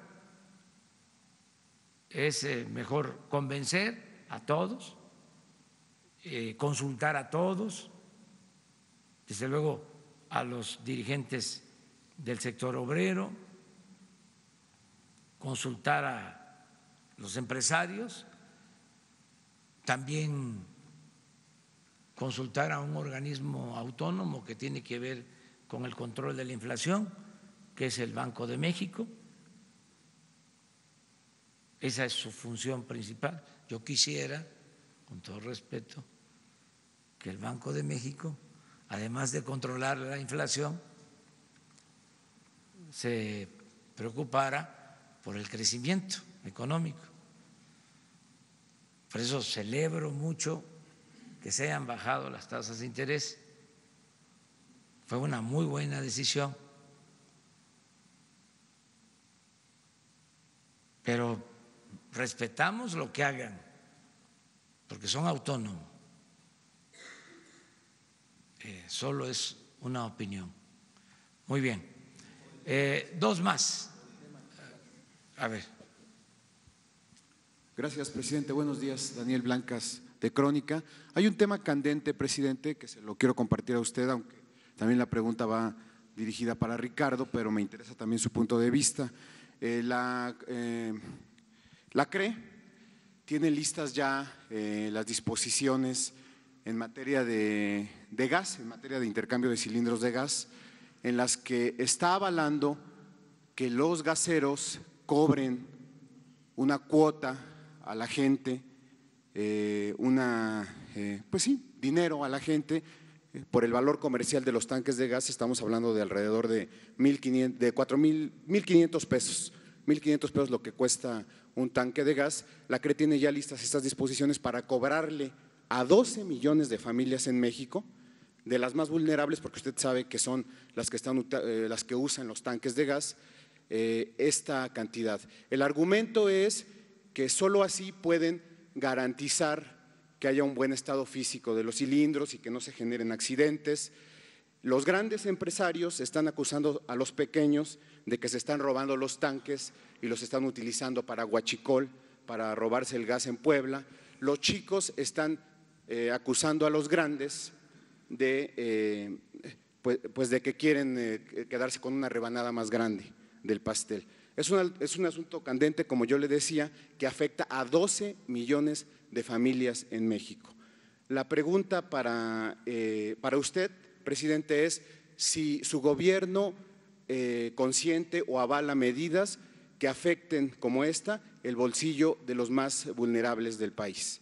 Y la pregunta para el procurador es, ¿por qué siempre el consumidor es quien tiene que pagar por situaciones como esta? ¿Por qué no los empresarios que usted todos los lunes da cuenta de las grandes ganancias que tienen, ¿por qué no se hacen responsables de esta situación? Gracias, presidente. Bueno, dos cosas por lo que a mí corresponde. Este, primero, que en efecto el cambio significa que eh, se tiene que apretar el cinturón el gobierno, ya no seguir pidiendo que se apriete el cinturón el pueblo. En general, ¿se acuerdan aquello? Este, ni modo, este, lo sentimos mucho.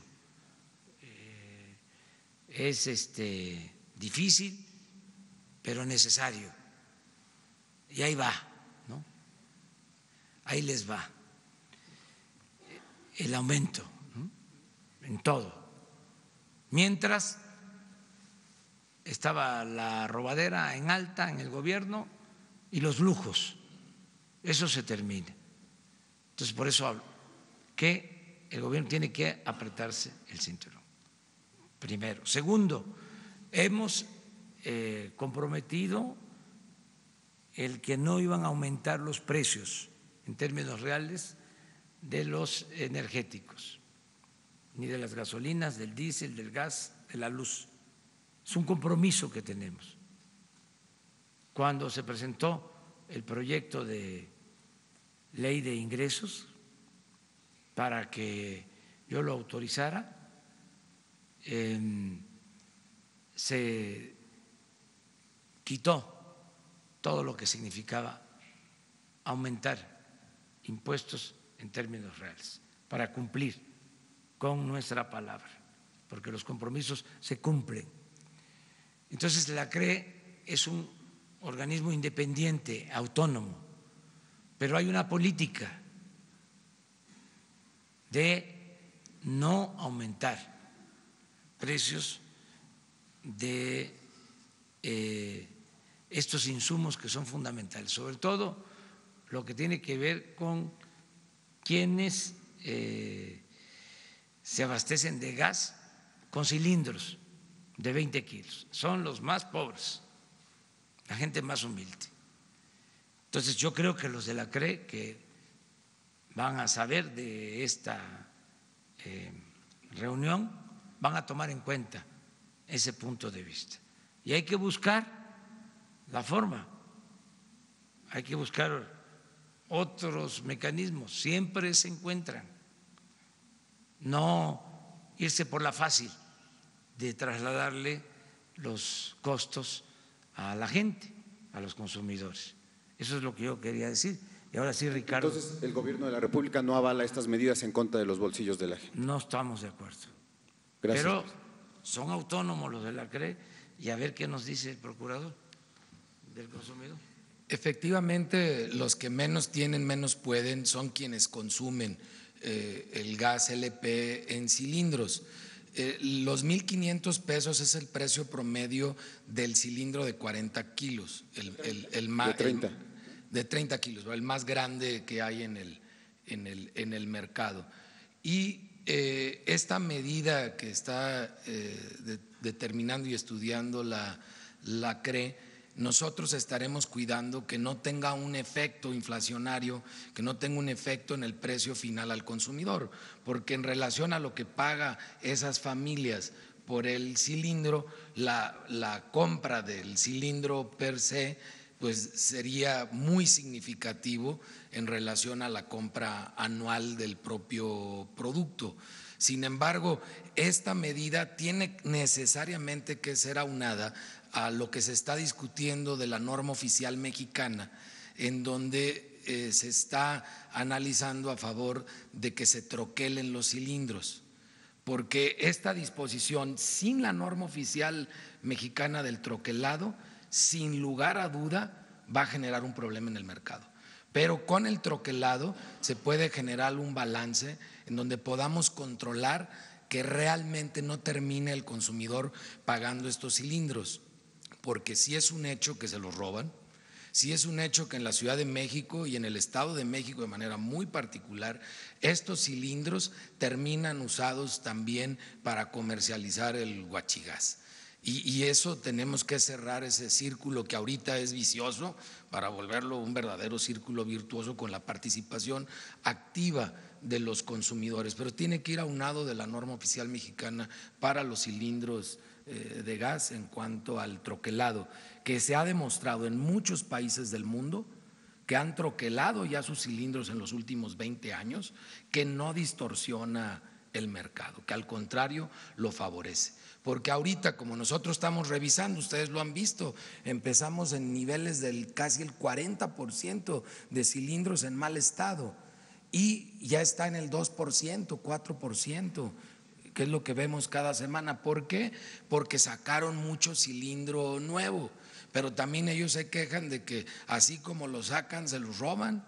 Entonces tenemos que encontrar un mecanismo que no va a ser solo con lo que disponga la CRE, sino también lo que disponga la Secretaría de Economía a través de las normas oficiales mexicanas y de lo que nosotros en Profeco estemos monitoreando día con día en toda la República Mexicana. Procurador, si hay la posibilidad de que se encuentre una norma que, digamos, le dé certeza a los empresarios con el troquelado, con el marcado de los, de los cilindros, pero que no afecte el bolsillo de la ciudadanía? Claro que lo hay, no vamos a inventar el hilo negro. Hay muchas economías en América Latina que han probado ya distintos esquemas.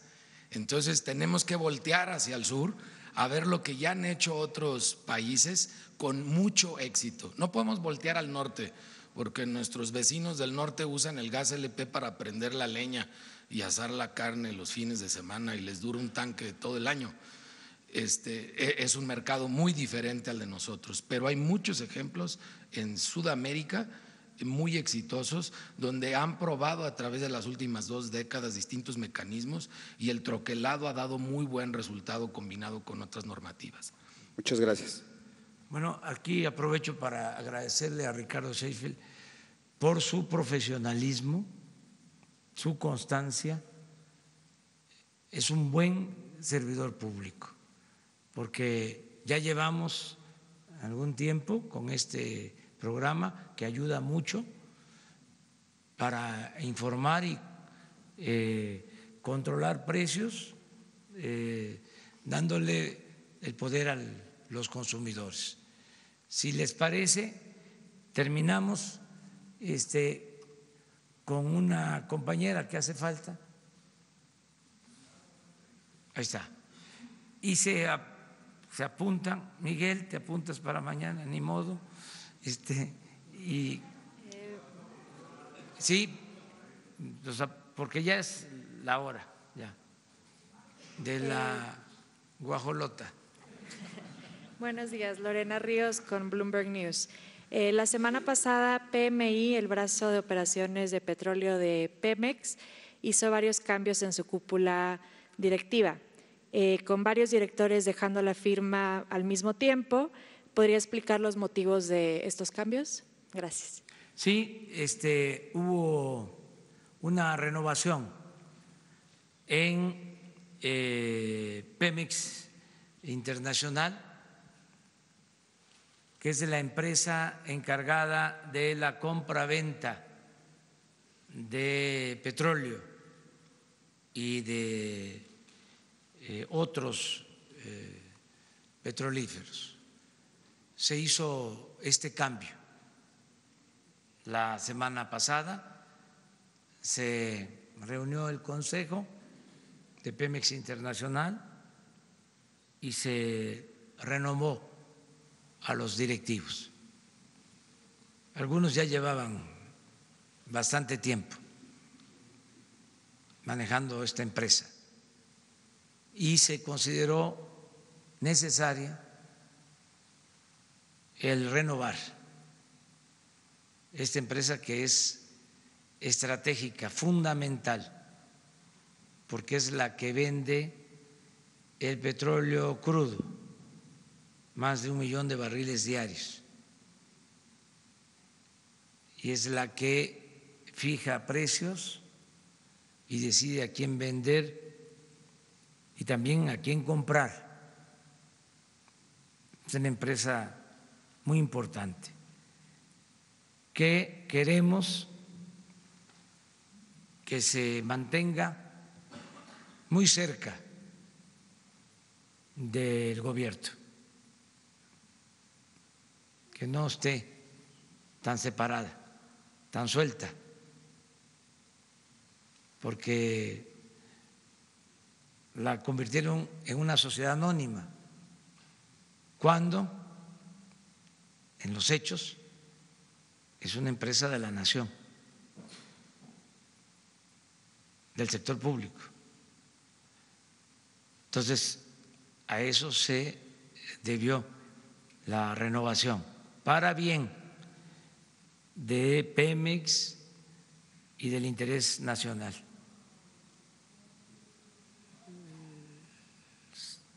No este, hubo ningún problema porque fue una decisión del Consejo de la misma empresa. Eso es. Bueno, muchas gracias. Mañana tengo pendiente una este, reunión con empresarios de Sonora. Este, y tengo otras actividades. Jesús les este, da a conocer. Tengo reunión con empresarios hoy y mañana. No.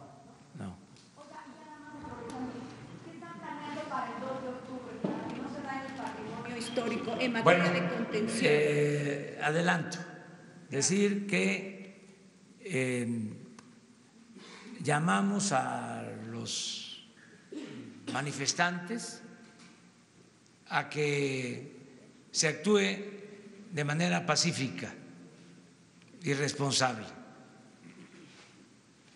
Si queremos protestar para que no haya actos autoritarios de prepotencia, que fue lo que llevó a la represión del 2 de octubre del 68, tenemos que actuar por la vía pacífica.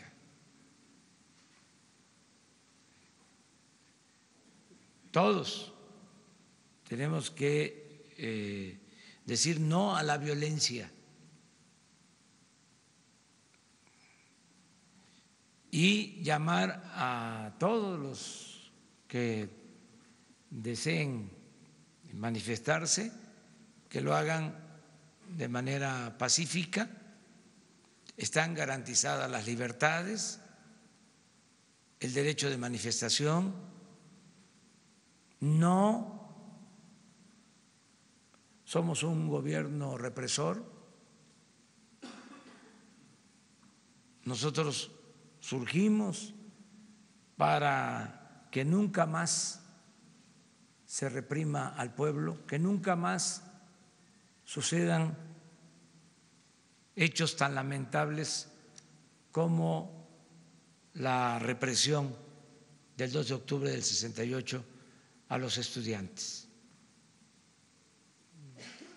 Nosotros llegamos aquí para que este, no se repitan esos hechos. Este no es un gobierno autoritario. Por lo mismo, pedimos que nos ayuden y que la manifestación sea pacífica, que no se afecten comercios, que no haya violencia, que se cuide el patrimonio histórico, que se actúe como lo hicieron en su momento Gandhi, Mandela, Martin Luther King y otros luchadores sociales. Y pedirle a todos los participantes que nos ayuden para que si se infiltran provocadores, los aíslen y este, los mantengan separados. Nosotros que venimos de la oposición sabemos de cómo se puede evitar eh, que actúen provocadores, con organización, bastante organización de los manifestantes. En materia de prevención, quiero que recalcarme muy bien, prevención, sí, Se va a actuar. Ejemplo, el, la semana pasada cuando ocurrieron los lamentables hechos del ataque a Palacio sí. de todo el corredor turístico que viene de Avenida Juárez, sí. como para acá, Palacio estaba pues con la vigilancia de siempre, ¿no? Siempre está resguardado por la Secretaría de Defensa Nacional, en fin. El sábado lo que le pasó a la Catedral Metropolitana, a ver, la pregunta, es directa, la pregunta es directa en términos de, ¿va a haber personal de, de, policía militar resguardando Palacio Nacional más de lo acostumbrado y los monumentos históricos? Y si se cometen delitos, ¿se va a llevar a las personas, a las autoridades correspondientes? Eso es para la garantía. Va a haber cuidado, este, vigilancia, sin represión. Solo el uso de la fuerza legítima. Sí, invito incluso a los ciudadanos a que ayuden. Invito a que se apoye un plan que tiene la jefa de gobierno para que se hagan cordones con ciudadanos eh, que procuren la paz y que este, se evite la violencia.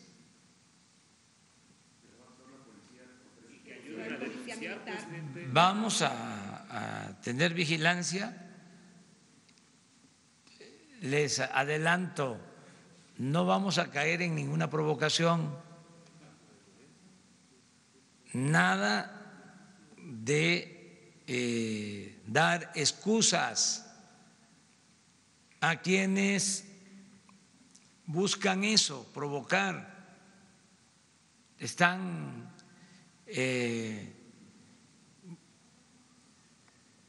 queriendo que haya choques, no lo van a conseguir, no lo van a conseguir. Y, repito, esas actitudes no son de izquierda, son de derecha.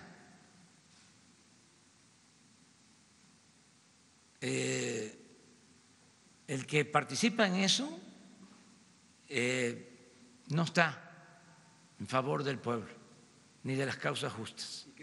Está a favor de la opresión y del autoritarismo. Incluso están a favor de los explotadores, los que participan en actos de violencia. Están haciendo el juego a los conservadores. Y no vamos nosotros eh, a caer en esa provocación. Y sí va a haber vigilancia para los ciudadanos, los comercios, los eh, eh, edificios históricos sin violencia. se les quiten las máscaras y los pasamontañas que utilizan y siempre se ocultan ahí, presidente. Sí, pero eso vamos a ver cómo lo instrumenta el gobierno de la ciudad, que tiene todo nuestro apoyo, todo nuestro apoyo. ¿No es mejor que los encapsulen los policías que son profesionales a que sea la ciudadanía y que sean los estudiantes los grupos que hagan? Van a, a, este, a eh, llevar a cabo un plan con ese propósito y que nos ayuden. Y ustedes nos pueden ayudar muchísimo. Ustedes saben que cuando actúan, este, llevan a cabo un acto, un destrozo, ¿sí? y ahí van todos los medios. Porque eso es lo que quieren, es propaganda. No es que eh, no vayan los medios, sino nada más estar conscientes de que eso es lo que buscan. el que estemos hablando de estos temas, pues, cuando la verdad este, son 100, 200 eh, compañeros, compañeras, ¿sí? este, unos desinformados, otros muy este, ideologizados, eh, en extremo, es cuando este, los extremos se tocan. Eh, yo espero que haya un, una reflexión sobre esto, una discusión, un debate, en el caso de que se trate de grupos con una ideología. En el caso de que se trate. Para empezar, ya he expresado de que eso no tiene nada que ver con el anarquismo. Eso no. El anarquismo es una corriente de pensamiento responsable que enfrentó al régimen, pero con propuestas y que estaba a favor de la educación del pueblo. El que quiere destruir una librería, pues no puede ser anarquista. El que quema, pues tampoco. El que le causa daño a otro ser humano, pues tampoco puede ser considerado anarquista. Entonces hay que ver este asunto y que todos ayudemos. Ya la gente no quiere estos actos, que hay mucha inconformidad, mucha molestia eh, por esas actitudes. A ver, yo les pregunto, si quisieran hacer la revolución, ¿con quién la van a hacer? Si no eh, van a ganar bases o no van a tener pueblo con esas actitudes. Porque incluso hasta para una guerrilla se requiere eh, de elementos, aunque no es un ejército regular, se requiere de un número determinado de eh, guerrilleros y del respaldo ciudadano, de la simpatía del pueblo. Entonces, el que este, hace eso eh, y se eche el pueblo encima, pues no tiene ningún propósito. Eso no es ser revolucionario. Para nada. Un revolucionario es el que quiere cambiar un régimen de opresión, de injusticias, de privilegios. Un revolucionario es el que busca una transformación. Y hay formas de transformar, por la vía violenta, por las armas o por la vía pacífica. Pero aunque se trate de transformar por la vía violenta, el objetivo es cambiar al régimen, transformar. Nosotros optamos por la vía pacífica para transformar. El que no se propone transformar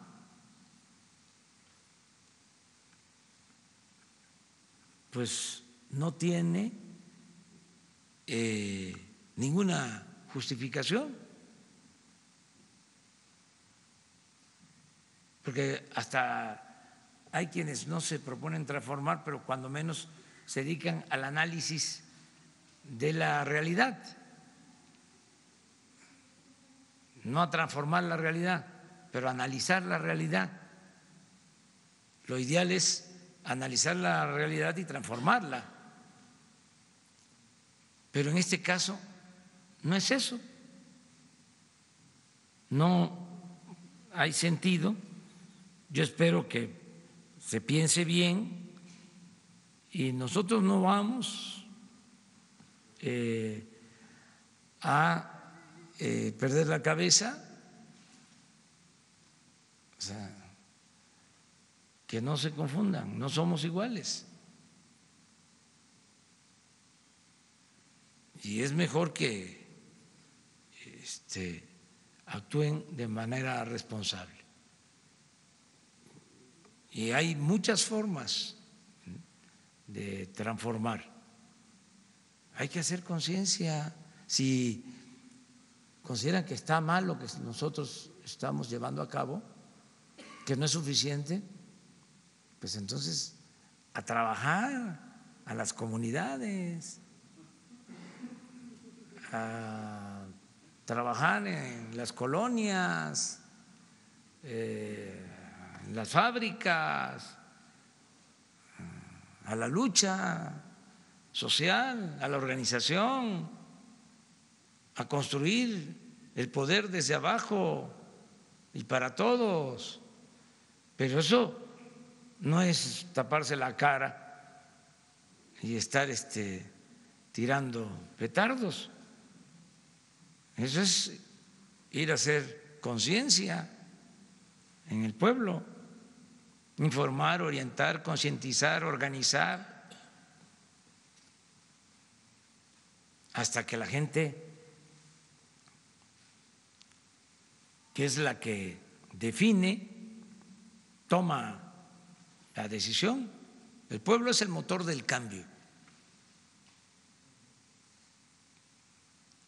Decía Juárez, con el pueblo todo, sin el pueblo nada.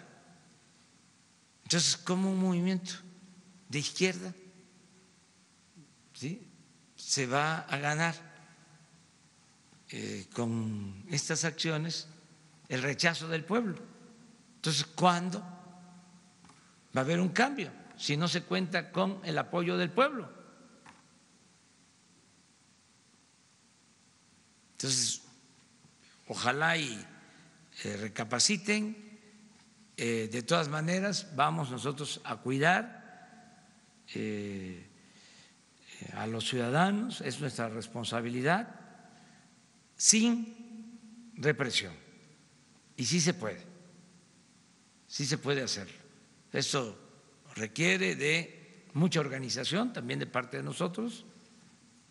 Y además, la jefa de gobierno, Claudia Sheinbaum, es de primera, viene del movimiento estudiantil. Eh, incapaz de reprimir ningún movimiento de protesta nada que ver con los gobiernos represores que se han padecido en nuestro país. Eh, eso es Claudia. Entonces es una garantía de que va a buscarse la mejor forma posible. Y este, también que no se le dé eh, tanta importancia a quienes gritan ahora de que hace falta la mano dura y luego van a gritar de que hay autoritarismo porque están en eh, otro papel o tienen otro propósito que también es legítimo, ¿no? Es la oposición. Entonces, si la ensartas, perdiste. Y si no le ensartas, también. Es un poco esa lógica. ¿no? Bueno, muchas gracias. Mañana.